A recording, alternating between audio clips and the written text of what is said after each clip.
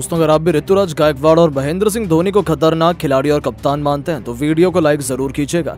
दोस्तों, हैदराबाद के खिलाफ चेन्नई की टीम की जीत के बाद खुशी से झूम उठे कप्तान ऋतुराज गायकवाड़। चेन्नई के खिलाड़ियों की तारीफ़ कर उड़ाया हैदराबाद की टीम का मज़ाक। जी हाँ दोस्तों, हैदराबाद और चेन्नई के बीच खेले गए रोमांचक मैच में चेन्नई की टीम को जीत मिली है, जिसके बाद कप्तान ऋतुराज गायकवाड़ खुशी से पागल हो चुके हैं। इस बीच उन्होंने जीत के बाद चेन्नई की टीम की तारीफ़ करते हुए एक ऐसा दिल जीत देने वाला बयान जारी किया जो आपके भी दिल को छू लेगा तो आखिरकार चेन्नई की जीत के बाद कप्तान ऋतुराज गायकवाड़ ने क्या कहा है? ये तो आपको बताएँगे ही तो जानने के लिए वीडियो को पूरा एंड तक ज़रूर देखिएगा, लेकिन उससे पहले आपको क्या लगता है?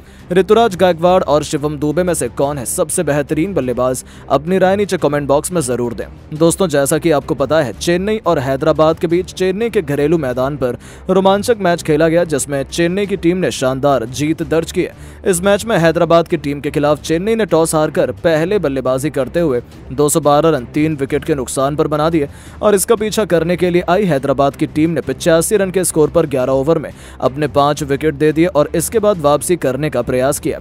लेकिन चेन्नई की टीम की शानदार गेंदबाजी के सामने अब हैदराबाद की टीम को जीत दर्ज करने का मौका नहीं मिला और इस कारण से चेन्नई की टीम को शानदार जीत मिल गई, जिसके बाद अट्ठानवे रन की पारी खेलने वाले कप्तान ऋतुराज गायकवाड़ ने दिल जीत लेने वाला बड़ा बयान जीत के बाद जारी कर दिया है, जिसमें चेन्नई की टीम के कप्तान ऋतुराज गायकवाड़ ने बयान देते हुए कहा है कि इस मैच में चेन्नई की टीम को मिली जीत के बाद मैं काफ़ी ज़्यादा खुश हूँ। जिस प्रकार से चेन्नई की टीम की तरफ़ से इस मैच के अंदर सभी बल्लेबाजों ने शानदार बल्लेबाजी की और सभी गेंदबाजों ने शानदार गेंद गेंदबाजी करके दिखाई है। वो वास्तव में काफ़ी ज़्यादा काबिल तारीफ़ है, क्योंकि इस मैच के अंदर आज हमारी टीम को किसी भी कीमत पर जीत चाहिए थी, क्योंकि इस बार के आईपीएल में हमारी टीम का प्रदर्शन हमारी नाम के तहत नहीं हुआ है। हालाँकि चेन्नई की टीम के पास में काफ़ी ज़्यादा खतरनाक गेंदबाज हैं और बल्लेबाज मौजूद हैं जो किसी भी टीम को आसानी से हरा सकते हैं। लेकिन फिर भी हमारी टीम अभी तक छह नंबर पर मौजूद थी, लेकिन जिस प्रकार से हमारी टीम को हमारे घर में लखनऊ की टीम ने बुरी तरीके से हरा दिया था, अब उसका बदला लेने के लिए हमारी टीम हैदराबाद के खिलाफ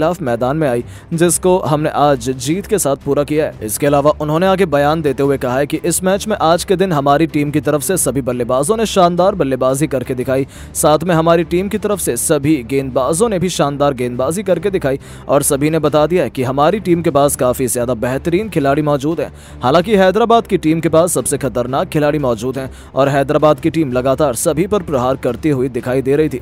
परंतु पिछले कुछ मैच में हैदराबाद की टीम का प्रदर्शन काफ़ी ज़्यादा खराब तरीके से देखने को मिल चुका है। इस मैच के अंदर हैदराबाद की टीम की तरफ़ से सभी गेंदबाज और बल्लेबाज एकजुट होकर बेहतर प्रदर्शन करने में नाकामयाब रहे, जिसके चलते हैदराबाद की टीम को इस मैच में जीत नहीं मिली, लेकिन अब हमारी टीम को जीत मिल गई है, जिसके बाद अब हमारी टीम लगातार जीत के रथ पर आगे बढ़ने के लिए तैयार है। ऐसे में अब आगे वाली टीम भी हमसे बचकर रहे। तो दोस्तों, आपको क्या लगता है इस मैच में चेन्नई की टीम की जीत के असली हीरो कौन रहे हैं? अपनी राय नीचे कमेंट बॉक्स में ज़रूर दें। दोस्तों, चेन्नई के मैदान पर आईपीएल की दो सबसे खतरनाक टीमें आमने सामने थी। इस मुकाबले में हैदराबाद और चेन्नई सुपर किंग भिड़ने के लिए पूरी तरह से तैयार थी।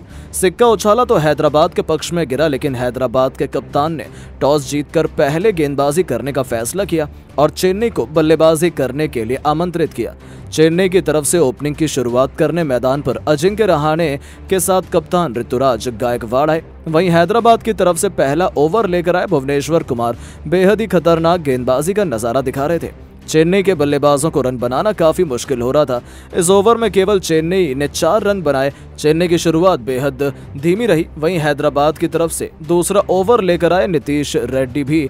ये भी शानदार गेंदबाजी का नज़ारा दिखा रहे थे। चेन्नई के बल्लेबाजों को उनके ओवर में सिंगल से ही काम चलाना पड़ रहा था, लेकिन तभी अंतिम गेंद पर ऋतुराज गायकवाड़ ने शानदार चौका लगाकर अपनी टीम के स्कोर को दो ओवर में तेरह रनों तक पहुँचा दिया। हैदराबाद की तरफ़ से तीसरा ओवर लेकर आए एक बार फिर भुवनेश्वर कुमार। इनका स्वागत अजिंक्य रहाणे ने पहली गेंद पर शानदार चौका लगाकर किया, लेकिन भुवनेश्वर कुमार अपने तजुर्बे से इसने अपने इसी ओवर की पांचवी गेंद पर अजिंक्य रहाणे को पवेलियन का रास्ता दिखा दिया। चेन्नई सुपर किंग को 19 रनों के स्कोर पर पहला झटका लग गया। अजिंक्य रहाणे केवल नौ रन बनाकर पवेलियन लौट गए, लेकिन मैदान पर कप्तान ऋतुराज गायकवाड़ टिके हुए थे। उनका साथ देने के लिए अब नए बल्लेबाज डेरिल मिशेल आ चुके थे। तीन ओवर में चेन्नई का स्कोर केवल 19 रन बन पाया था। हैदराबाद की तरफ़ से चौथा ओवर लेकर आए शहबाज अहमद। इनका स्वागत गायकवाड़ ने चौथी गेंद पर शानदार चौका लगाकर किया। इसके बाद भी गायकवाड़ रुकने का नाम नहीं लिए। पांचवी गेंद को भी उन्होंने चौके में तब्दील कर दिया और अपनी टीम के स्कोर को चार ओवर में तीस रनों तक पहुँचा दिया। हैदराबाद की तरफ़ से पांचवा ओवर लेकर आए, एक बार फिर भुवनेश्वर कुमार, लेकिन इस बार इनका स्वागत डेरिल मिचैल ने दूसरी गेंद पर शानदार चौका लगाकर किया। इसके बाद गायकवाड़ ने भी ओवर की चौथी गेंद पर लाजवाब चौका जड़कर अपनी टीम के स्कोर को तेज़ी से आगे बढ़ाया। इसके बाद भी गायकवाड़ रुके नहीं, पांचवी गेंद को भी चौके में तब्दील कर दिया और अपनी टीम के स्कोर को इन दोनों बल्लेबाजों ने मिलकर पाँच ओवर में पैंतालीस रनों तक पहुँचा दिया। हैदराबाद के गेंदबाजों की बेरहमी से ये दोनों खिलाड़ी कुटाई कर रहे थे। ऋतुराज गायकवाड़ का बल्ला बिल्कुल भी रुकने का नाम नहीं ले रहा था। हैदराबाद के कप्तान पैट कमिंस पूरी तरह से हैरान और परेशान हो चुके थे। ये दोनों खिलाड़ी मैदान पर पूरी तरह से सेट थे। पावर प्ले का अंतिम ओवर लेकर आए। टीम के सबसे खतरनाक तेज गेंदबाज टी नटराजन लेकिन ऋतुराज गायकवाड़ ने इन्हें भी नहीं छोड़ा और दूसरी गेंद पर शानदार चौका जड़कर टीम के स्कोर को आगे बढ़ाया और टीम के स्कोर को 50 रनों तक पहुँचा दिया। लेकिन उसके बाद तीन नटराजन ने बेहतरीन गेंदबाजी की और एक भी रन नहीं दिया। चेन्नई का स्कोर पावर प्ले के छह ओवर में केवल 50 रन बन पाया ये दोनों बल्लेबाज उसके बाद बेहतरीन अंदाज में बल्लेबाजी करने वालों के बाद एक कई चौके छक्के लगाने लगे। देखते ही देखते हमने टीम के स्कोर को 10 ओवर में बानवे तक पहुँचा दिया। वहीं ऋतुराज गायकवाड़ ने अपना अर्धशतक भी ठोक दिया। इसके बाद भी डेरिल मिचैल का बल्ला रुकने का नाम नहीं लिया। देखते ही देखते उन्होंने भी अपना तूफानी शतक ठोक दिया। चेन्नई का स्कोर तेज़ी से आगे बढ़ रहा था, लेकिन तभी टीम के लिए चौदवा ओवर लेकर आए जयदेव उनादकट ने अपना शिकार मिचैल को बना लिया। 126 रनों के स्कोर पर चेन्नई को दूसरा झटका लग गया। मिचेल बावन रन बनाकर पवेलियन लौट गए। अब मैदान पर ऋतुराज गायकवाड़ का साथ देने के लिए शिवम दुबे आ चुके थे। आते शिवम दुबे अपना प्रचंड रूप दिखाना शुरू कर दिए। चौके और छक्के लगाने लगे। टीम का स्कोर डेढ़ रनों के पार पहुँच गया। वहीं ऋतुराज गायकवाड़ अपने शतक के करीब आ चुके थे। टीम का स्कोर 200 रनों के पास जा चुका था, लेकिन तभी टीम के लिए अंतिम ओवर लेकर आए टी नटराजन और आते ही उन्होंने अपने ओवर की दूसरी गेंद पर ऋतुराज गायकवाड़ को पवेलियन का रास्ता दिखा दिया और चेन्नई सुपर किंग को तीसरा झटका 200 रनों के लग गया। ऋतुराज गायकवाड़ अट्ठानवे रन बनाकर पवेलियन लौट गए। लेकिन अब मैदान पर शिवम दुबे का साथ देने के लिए महेंद्र सिंह धोनी आ चुके थे और आते ही उन्होंने शानदार चौका लगाकर अपना खाता खोला और टीम के स्कोर को आगे बढ़ाया। उसके बाद शिवम दुबे ने पांचवी गेंद पर शानदार छक्का लगाकर अपनी टीम को 20 ओवर में 212 रनों तक पहुँचा दिया और हैदराबाद के सामने कभी न हासिल कर पाने वाला लक्ष्य खड़ा कर दिया। इस लक्ष्य का पीछा करने उतरे हैदराबाद के दो खूंखार बल्लेबाज, एक तरफ़ ट्रेविस हेड तो दूसरी तरफ़ अभिषेक शर्मा, वहीं चेन्नई की तरफ़ से पहले ओवर लेकर आए दीपक चहर। इनका स्वागत हेड ने पहली गेंद पर शानदार चौका लगाकर किया और टीम का खाता खोला, लेकिन उसके बाद दीपक ने बेहतरीन वापसी की और केवल तीन रन दिए। हैदराबाद की टीम ने पहले ओवर में केवल सात रन बना पाए। टीम के लिए दूसरा ओवर लेकर आए तुषार देश और इनका स्वागत पहली गेंद पर हेड ने शानदार छक्का लगाकर किया। हेड की बल्लेबाजी देखकर अभिषेक शर्मा के बल्ले का मुँह खोलना शुरू कर दिए। तुषार देश पांडे के ओवर की तीसरी गेंद पर अभिषेक ने खतरनाक अंदाज में छक्का जड़कर अपनी टीम के स्कोर को तेज़ी से आगे बढ़ाया, लेकिन तुषार देश पांडे ने इन दो छक्कों का बदला लेते हुए ओवर की पांचवी गेंद पर ट्रेविस हेड को पवेलियन का रास्ता दिखा दिया। 21 रनों के स्कोर पर हैदराबाद को पहला झटका लग गया। हेड केवल 13 रन बनाकर पवेलियन लौट गए। इसके बाद मैदान पर बल्लेबाजी करने आए अनमोल प्रीत सिंह, लेकिन ये भी तुषार देश पांडे की घातक गेंदबाजी के आगे टिक नहीं सके। अगली ही गेंद पर बिना खाता खोले पवेलियन लौट गए। 21 रनों के ही स्कोर पर हैदराबाद का दो विकेट गिर गया।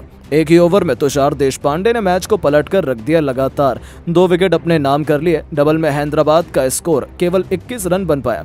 चेन्नई के लिए तीसरा ओवर लेकर आए एक बार फिर दीपक चहर। वहीं अभिषेक शर्मा का साथ देने के लिए मैदान पर हैदराबाद की तरफ़ से एडन मार्क्रम आ चुके थे। आते ही मार्क्रम ने अपना प्रचंड रूप दिखाना शुरू कर दिया। दीपक चहर को लगातार दो गेंद पर दो चौके जड़कर अपनी टीम के स्कोर को तेज़ी से आगे बढ़ाया। हैदराबाद का स्कोर तेज़ी से आगे बढ़ना शुरू हो चुका था। चेन्नई के गेंदबाजों की बेरहमी से कुटाई कर रहे थे तीन ओवर में ही। हैदराबाद का स्कोर तैतीस रनों तक पहुँच गया। टीम के लिए चौथा ओवर लेकर आए एक बार फिर तुषार देश इनका स्वागत एक बार फिर अभिषेक शर्मा ने। तीसरी गेंद पर शानदार चौका लगाकर किया, लेकिन तुषार देश पांडे ने इस चौके का भी बदला लेते हुए अभिषेक शर्मा को अगली ही गेंद पर पवेलियन का रास्ता दिखाकर हैदराबाद की पूरी कमर तोड़ दी। 40 रनों के स्कोर पर तीन बल्लेबाज पवेलियन लौट गए। अभिषेक शर्मा केवल 15 रन बनाकर पवेलियन की शोभा बढ़ाने चले गए। अब और मार्क्रम का साथ देने के लिए नए बल्लेबाज नीतीश रेड्डी आ चुके थे चार ओवर में। हैदराबाद का स्कोर तीन विकेट पर बयालीस रन बन पाया। इन दोनों बल्लेबाजों ने मैच को पलटने की पूरी कोशिश की, वहीं चेन्नई के गेंदबाजों ने भी खूब परेशान किया, लेकिन हैदराबाद की ओर भी बल्लेबाज मैच को पलटते हुए अंतिम ओवर तक पहुँचा दिया, जिसके बाद तो किसी भी एक टीम को विजेता बता पाना काफ़ी मुश्किल नज़र आ रहा था। लेकिन दोस्तों, अब आपको क्या लगता है, महेंद्र सिंह धोनी इस बार अपनी टीम को आईपीएल का ट्रॉफी दिला पाएँगे या नहीं? अपनी राय नीचे कॉमेंट बॉक्स में ज़रूर दें।